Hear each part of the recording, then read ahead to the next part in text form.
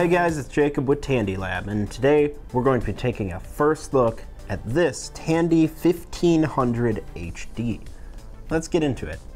The Tandy 1500 HD was released in 1990 at an MSRP of $19.99, but quickly had its price slashed to $16.99. The 1500 was considered a pretty low point for Tandy laptops. Criticized at the time in magazines and forums for its weak specs and high price, but it was praised for its very lightweight design. This system comes standard with a V20 10 MHz CPU, 640K of RAM, a 20 megabyte hard drive, and weighs just under 6 pounds. Our system was purchased on eBay as is without a power supply or any accessories for $59.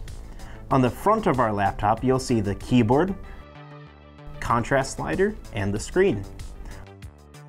On the right side, you'll see the 3 and a quarter inch floppy drive, on the left side is the power input and a brightness switch.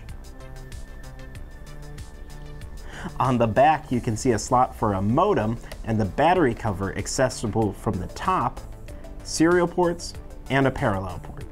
The condition of this machine is very average. It has a couple scratches, but none of them are on the screen, and we have yet to be able to test to see if it actually works.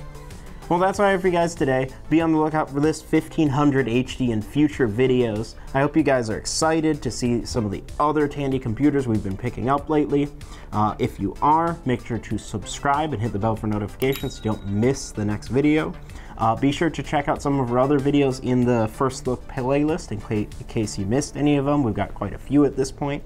Uh, make sure to join the Tandy Lab group on Facebook where you can discuss your favorite vintage laptop computers with us. And uh, we have a Patreon if you'd like to support us financially to help us get more episodes out to you guys. Uh, that's it for me today, so see you next time.